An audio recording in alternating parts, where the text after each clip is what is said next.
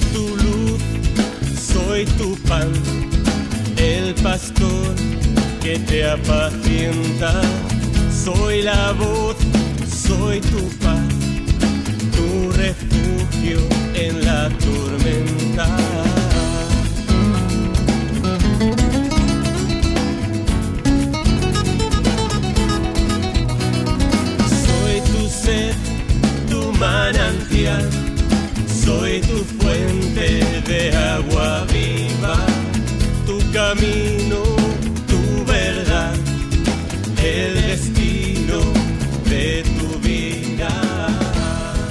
Bendecido día, mis queridos hermanos.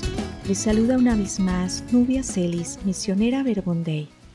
Hoy meditamos Marcos 3 del 31 al 35. Las palabras de Jesús resuenan con fuerza. Todo el que hace la voluntad de Dios es hermano mío, hermana y madre. ¿Cómo saber si estoy haciendo o no su voluntad? Una de las formas de descubrirlo es revisar nuestra oración. Si oramos bien, entonces podremos discernir mejor lo que Dios quiere de nosotros. San Agustín escribió, La oración, sepámoslo o no, es el encuentro de la sed de Dios y la sed del hombre. Dios tiene sed de que el hombre tenga sed de Él. Una de las cosas que más me sorprenden en mi amistad con Jesús es saber que Él tiene sed de mí. Todo un Dios desea estar con su criatura. Aquel que es infinito y todopoderoso se une a mi finitud y debilidad. Si mi amistad ni le quita ni le pone una pizca de divinidad, ¿por qué me busca? No hay amor más incondicional y gratuito que el suyo. No es que yo le merezca, es que Él se da y se deja encontrar. Sabe que le necesito y sabe también que mi paz interior y mi felicidad dependen de mi respuesta a su amor. El amor pide correspondencia y reciprocidad.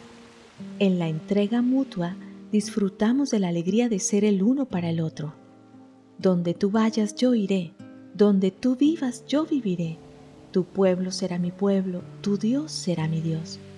En otras palabras, nuestro gozo está en hacer la voluntad de Dios. En muchas ocasiones escuché decir a Jaime Bonet, fundador del Verbum Dei, tu acompañante espiritual te puede decir lo que no debes hacer, pero lo que debes hacer y hasta dónde puedes llegar en tu respuesta a Dios, eso solo lo puedes descubrir en tu diálogo con Él. Es verdad que necesitamos de los otros para discernir y llegar a descubrir lo que Dios quiere. Pero también es cierto que la relación y el diálogo continuo con Dios es lo que mejor nos acerca a su voluntad.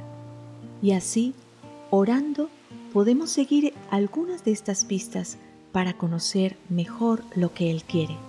Primero, creer que Él tiene un plan particular para mí. Dios quiere que yo conozca su voluntad. Él no quiere escondérmela. Quizá no me muestra toda la evidencia que yo quisiera, pero sí la suficiente para que yo inteligentemente le siga por fe. Dios quiere y puede hacer su voluntad en mí.